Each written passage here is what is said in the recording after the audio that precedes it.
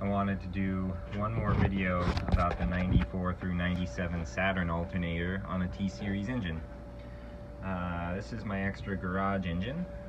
Uh, as This is the Saturn alternator. Um, as you can see, it is bolted up to the factory alternator mount right here with that 3 8 or 10 millimeter bolt. Um, fits in really smooth. This is the stock size fan pulley alternator belt, um, but I remembered when I mocked this up, I think I got a belt which was just one size bigger than this, because that worked a little better on my car. The only thing I didn't mention in my previous videos relates to this upper alternator bracket right here. Um, for the Corolla alternator, I think it mounts to this stud just below the water pump. In order to make it work with the Saturn alternator, you have to lower it um, so it mounts to this little bolt um, that holds on the timing cover. And then I'm not sure if this shows, but you actually, I haven't done it to this one, you have to grind the underside of this bracket just a little bit in here in order to make it so a through bolt for the tensioner can actually go through and work.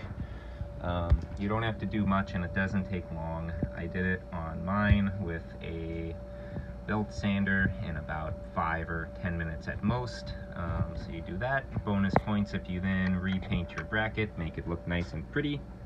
But then at that point, you know, as we discussed, pigtail, hook it up to your factory harness how you need. Um,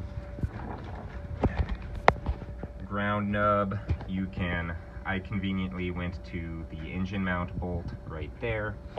Um, charge port, that's the fat 8 gauge wire you need to send to your battery.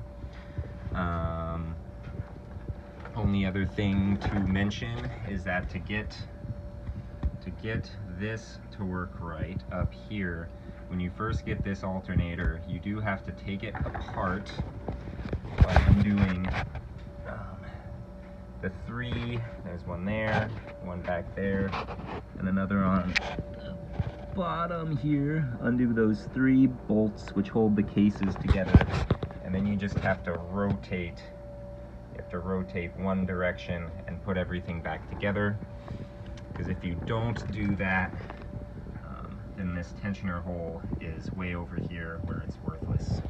Um, but that's it. That's all happy wrenching, everybody.